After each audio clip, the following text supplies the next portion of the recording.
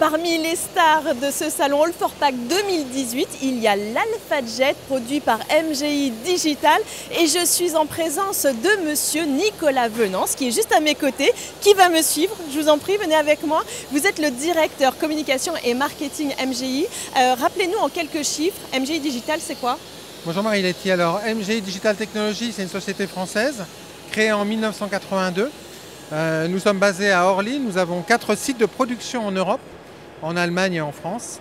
Euh, nous sommes euh, leader mondial de l'impression et de l'ennoblissement numérique et effectivement sur All for Pack, nous présentons notre dernier bébé, un gros bébé, c'est l'Alpha Jet. Oui, un gros bébé parce qu'on peut faire le, grand tour, on fait presque un tour du salon complet.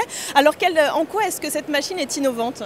Elle est innovante parce qu'en fait on, présente ici pour la toute première fois dans les industries graphiques et l'emballage un, concept différent, un concept de rupture qui est en fait l'usine 4.0 appliquée à l'imprimerie euh, et, au secteur de l'emballage, puisque l'Alpha Jet, ce n'est pas une presse d'imprimerie, c'est un concept général, un Industrial Print Factory 4.0 qui va permettre sur une chaîne de fabrication circulaire d'imprimer, de, déposer un vernis UV euh, sélectif en relief ou non, une dorure à chaud, de l'électronique imprimée et également de, des hologrammes digitaux. Alors là, on est devant une étagère qui montre l'électronique imprimée. On est un des leaders mondiaux de l'électronique imprimée.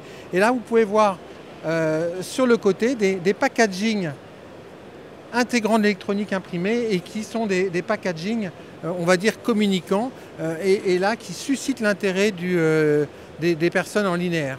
Et donc, comme vous pouvez le voir, nous sommes en train de faire le tour de cette unique machine, l'Alpha Jet. Euh, combien de tonnes à peu près?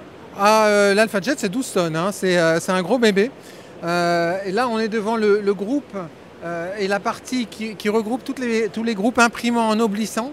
Et, donc en ligne, vous avez sur cette machine quelque chose d'original, c'est le circuit papier, puisque le papier n'est plus transporté par des belts, mais sur des plateaux aspirants qui vont prendre les feuilles B1, les aspirer et ensuite suivre un, circuit euh, tout au long duquel le papier va passer dans des, groupes d'impression, d'ennoblissement, d'enrichissement du, substrat. Et vous avez reçu deux prix dès l'ouverture du salon Ah oui, deux prix, puisque le matin même nous avons reçu euh, l'Innovation Award, euh, qui est un prix prestigieux, puisqu'il est décerné principalement par des grands donneurs d'ordre. Il y avait des gens comme L'Oréal, il y avait des gens comme Mars, il y avait des gens comme Procter Gamble, donc on est très flatté que des grands donneurs d'ordre aient compris tout l'intérêt de l'Industrial Print Factory de l'usine 4.0 appliquée à l'imprimerie et à l'emballage.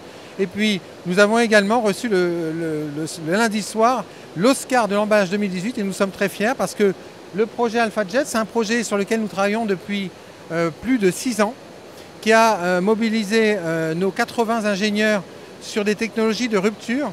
Et j'invite vraiment les gens à venir voir ce produit parce que c'est vraiment le futur de l'imprimerie et de l'emballage. Nicolas Venance, merci infiniment de nous avoir présenté donc cette star AlphaJet ici dans le Hall 6.